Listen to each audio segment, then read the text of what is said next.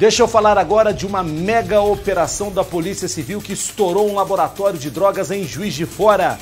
Cinco pessoas foram presas e grande quantidade de entorpecentes foi apreendida em vários bairros da cidade. O laboratório para a produção das substâncias ficava num apartamento no centro da cidade. Os criminosos guardavam as drogas dentro da geladeira.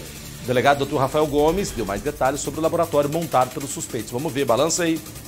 Logo quando nós entramos aqui no apartamento, a gente já observou aqui diversas buchas né, de maconha já embaladas no ziplock, balança de precisão, é, aqui algumas anotações referentes ao tráfico de drogas. A gente deu continuidade aqui às buscas e localizamos já aqui na geladeira, sacos aí, dois sacos grandes contendo em seu interior aí a maconha, ok? É, localizamos ainda uma barra de maconha prensada aqui também na geladeira. Na parte de cima do congelador, essas folhas aqui, ó, folhas também de maconha na parte de cima do congelador.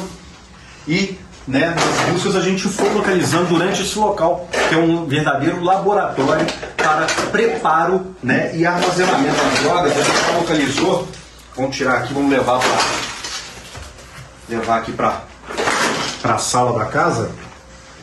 Ó, localizamos aqui. É muita quantidade de droga. Muita droga sintética, diversos comprimidos. LSD, tá? MD.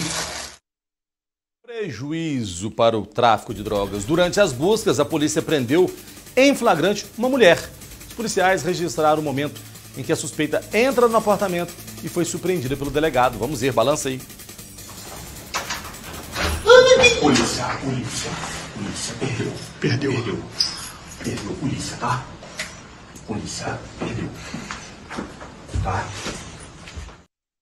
É, o, doutor, o delegado, quase que a mulher morre de susto, hein? Opa, do, do, do, do escuridão danada.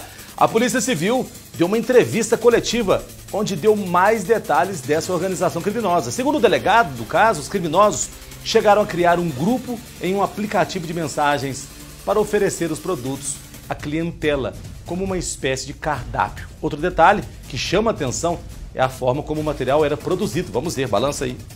Nós já estávamos investigando uma organização criminosa que se instalou aqui na cidade de Juiz de Fora e que tinha por característica ser extremamente é, organizada e detalhista em todos os seus atos. Essa organização criminosa, ela criou um grupo em um aplicativo de mensagens e nesse grupo ela enviava diariamente todos os produtos, uma espécie de um cardápio, de uma tabela com todos os tipos de drogas que seriam que estariam à disposição para venda aos usuários. E eles montaram nesse no centro da cidade de Fora, nesse apartamento, é um, uma, uma verdadeira estufa né, onde é, eles colocavam, existia um temporizador, é, quando teria que ter luz, quando não teria, quando essas plantas teriam que ser aguadas, e um indivíduo ficava inclusive responsável exclusivamente por essa, é, por esse cultivo.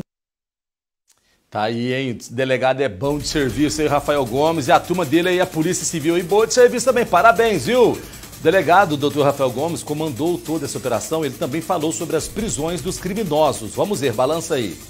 A operação começou na data de ontem, às 7 horas da manhã, e está terminando agora, neste momento, culminou aí na prisão é, de cinco indivíduos. Dois indivíduos foram presos no bairro São Mateus, um indivíduo, dois indivíduos foram presos no bairro Granbury e uma suspeita foi presa no centro da cidade, é, num apartamento situado no coração da cidade, onde nesse apartamento acontecia aí é, o preparo, o cultivo, né, a transformação é, de maconha de, da planta em, em rachixe.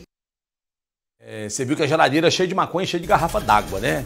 Além de, de, de, de, maconhada, ela tinha muita água lá dentro, lá. Só também, né? Tirar gosto, outras coisas, não tinha não coisas, é, legumes, frutas, verduras, não tinha nada, só água e marihuana.